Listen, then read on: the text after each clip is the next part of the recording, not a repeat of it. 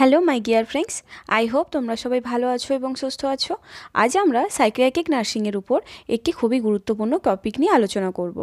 আজকের বিষয় হলো ডিফেন্স মেকানিজম এই গুরুত্বপূর্ণ বিষয় থেকে প্রায় প্রতীকী নার্সিং অফিসার এন্ট্রান্স এক্সামে কোয়েশ্চেন্স এসে থাকে।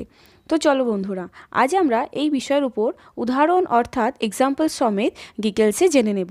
এবং তার আগে বন্ধুরা অবশ্যই চ্যানেলকে সাবস্ক্রাইব করে বেল বাটন দিয়ে দিও পরবর্তী ভিডিওর জন্য। প্রথমে আমরা জেনে নেব এই ডিফেন্স মেকানিজম আসলে কি? Defence mechanism is method of attempting to promote self esteem and in coping with basic drives or emotionally painful thoughts feelings or events অর্থাৎ ডিফেন্স মেকানিজম হলো একটি মানসিক প্রতিরক্ষা ব্যবস্থা যার উপকারী প্রভাব রয়েছে। এটি মানুষের বিষণ্ন প্রতিক্রিয়া পুনরুদ্ধার করে। এবার আমরা কত ধরনের ডিফেন্স মেকানিজম রয়েছে সেগুলি আমরা দেখে নেব। ফার্স্ট হলো repression it is an unconscious mechanism that keeps the painful ideas and disturbing thoughts away from consciousness unconsciously deny impulse এক্ষেত্রে পেনফুল সিচুয়েশান মাথার মধ্যে রয়ে যায়।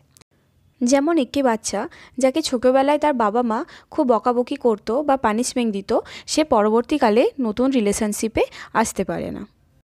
অথবা আমরা আরেকটি উদাহরণ হিসাবে দেখে নিতে পারি, যদি কোনো বাচ্চা চুরি করতে গিয়ে ধরা পড়ে যায়, সে সেটা বারবার ভুলে যাওয়ার চেষ্টা করে। নেক্সট ডিফেন্স মেকানিজম হলো suppression a deliberate or conscious attempt to push away unwanted or disturbing thoughts consciously suppress impulse এটিকে আমরা সিলেক্টিভ ফরগেটিংও বলতে পারি, জেনে বুঝে দুঃখ ভরা সিচুয়েশনকে ভুলে থাকার চেষ্টা করে। যেমন, নিজে থেকেই ডিসিশান নেয় ইন্টারভিউতে যাওয়ার আগে নিজের গার্লফ্রেন্ডের সাথে ঝগড়া করবে না। অথবা বাবা মা তার বাচ্চার মৃত্যুর শোক ভুলে থাকার চেষ্টা করে। নেক্সট ডিফেন্স মেকানিজম হলো denial it is the refusal to accept the reality or fact that causes anxiety to a person গিনাইলের অর্থ হলো মানা করা। উদাহরণ হিসাবে আমরা দেখতে পারি smokers may refuse to accept smoking is injurious to health অর্থাৎ, যারা স্মোক করে তারা এটা কিছুতেই মেনে নিতে পারে না যে স্মোকিং শারীরিকভাবে ক্ষতিকর। নেক্সট ডিফেন্স মেকানিজম হলো displacement unwanted feelings and frustration are discharge on a less threatening object or person একের অর্থ হলো অন্যের রাগ অন্যের উপর চাপিয়ে দেয়, যে তার থেকে দুর্বল। উদাহরণ হিসাবে আমরা দেখে নিতে পারি। কোনো ব্যক্তি অফিসের বসের রাগ সেখানে কিছু বলতে না পেরে বাড়িতে এসে সে কি তার স্ত্রীর উপরে রাগটি তুলতে থাকে? নেক্সট হচ্ছে reaction formation anxiety producing or unacceptable feelings are replaced with their exact opposite feelings and emotions এক্ষেত্রে যে কি রিয়েল ফিলিংস সে কি না দেখিয়ে তার বিপরীত ফিলিংস দেখানো হয়। উদাহরণ হিসাবে, কোনো মহিলা তার শাশুড়ি মাকে পছন্দ করে না, কিন্তু অন্যের সামনে তার শাশুড়ি মায়ের খুব কেয়ার করে। নেক্সট হলো rationalization justification of one's unacceptable behaviour or failure in a logical manner by giving socially approved reason খুব সুন্দরভাবে সে তার নিজের কারণ দর্শাতে থাকে।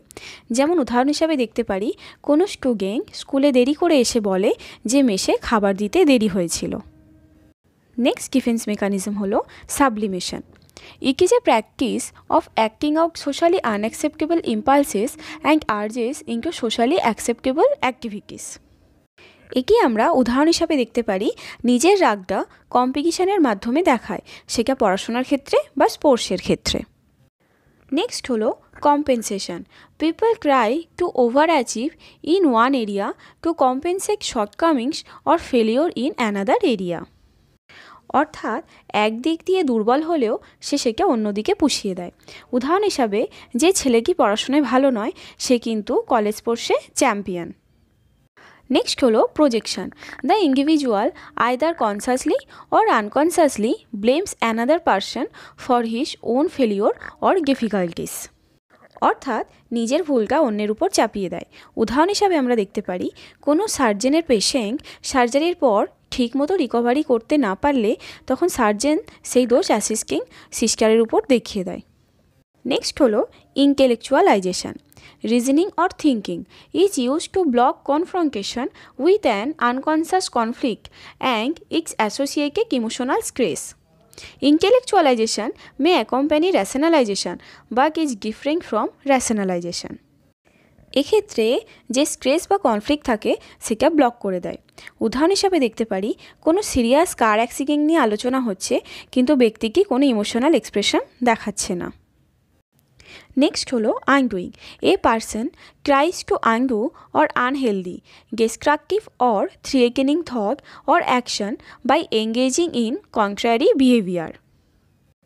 অর্থাৎ ভালো কাজ করার মাধ্যমে খারাপ কাজকে চাপা দেওয়ার চেষ্টা করে। উদাহরণ হিসাবে, বাচ্চাকে ভীষণ বকাবকি করার পর তাকে রেস্টুরেন্টে খেতে নিয়ে যায়। নেক্সট হলো regression. Unconscious return to an earlier or more comfortable developmental stage. It is an অ্যাকেম to bring back a time when the person feels safe and taken care of. এক্ষেত্রে আমরা দেখি কোনো মানুষ আগের জায়গায় ফিরে যেতে চায়, অর্থাৎ বাচ্চাদের মতন ব্যবহার করতে থাকে। উদাহরণ হিসাবে দেখতে পারি, কোনো মহিলা ভুল করলে বাচ্চাদের মতন কাঁদতে শুরু করে, অথবা কোনো টেনশানে পড়লে নখ চিবাতে শুরু করে। নেক্সট হলো conversion psychological or interpersonal conflicts manifest themselves in physical symptoms অর্থাৎ সাইকোলজিক্যাল টেনশন থেকে ফিজিক্যাল প্রবলেম হয়। উদাহরণ হিসাবে দেখতে পারি এক্সামের সময় বারবার ভমিটিং টেন্ডেন্সি আসতে থাকে। নেক্সট হলো retroflection retroflection is the turning back of the something on to the self this could be any emotions such as anger blame guilt et cetera এক্ষেত্রে আমরা দেখতে পারি সব কিছু সবশেষে নিজের উপর চাপিয়ে নেয়, যেমন দোষ, অপরাধবোধ, রাগ, ইত্যাদি। যেমন, কোনো বন্ধুর মৃত্যুর জন্য নিজেকেই দোষারোপ করতে থাকে। নেক্সট হলো substitution the replacement of highly value unacceptable object with an object that is more acceptable to the ego অর্থাৎ বিকল্প পথ বেছে নেয়। কোনো স্টুডেন্ট এমবিবিএস পড়তে না পারলে বিএসসি নার্সিং পড়ার ডিসিশান নেয়। তো বন্ধুরা, এই ছিল আমাদের আজকের ভিডিও। আশা করছি ভিডিওকে আপনাদের ভালো লাগবে এবং কাজে লাগবে। ভিডিও ভালো লাগলে অবশ্যই লাইক কমেন্ট শেয়ার এবং সাবস্ক্রাইব করতে ভুলো না। And thank you for watching this video